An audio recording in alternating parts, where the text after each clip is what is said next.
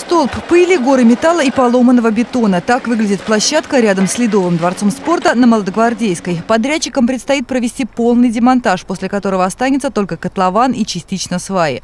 Работы выполнили процентов на 15, а со стройплощадки уже перенесли все коммуникации. Разбирают дворец в центре города, поэтому подход бережный.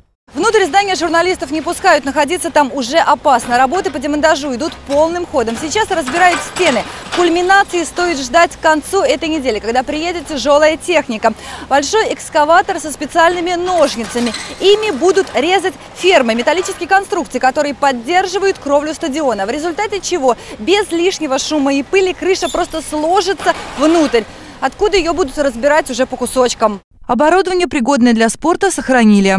Произведен частичный демонтаж того оборудования спортивного, которое в дальнейшем можно использовать, которое передано Минспорту. Это хладоустановки, э, частично оборудование зала, всякие пано, то, что может быть использовано на спортивных площадках или на открытых спортивных площадках.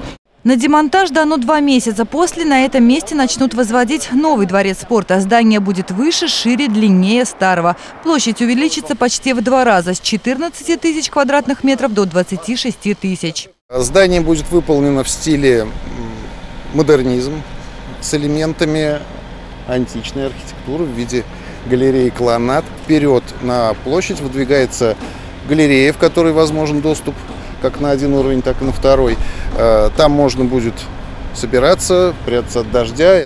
Проект не типовой. Вместо одного ледового поля будет целых три. Основное тренировочное и лед для керлинга. Уникальность в расположении площадок будет два яруса, один над другим. Вместимость главной арены 5000 мест. Здесь же можно будет проводить и концерты. А после завершения строительства предстоит благоустроить площадку вокруг. Памятник Высоцкому вернуть на прежнее место, а рядом высадят деревья. Марина Кравцова, Артем Сулайманов. События.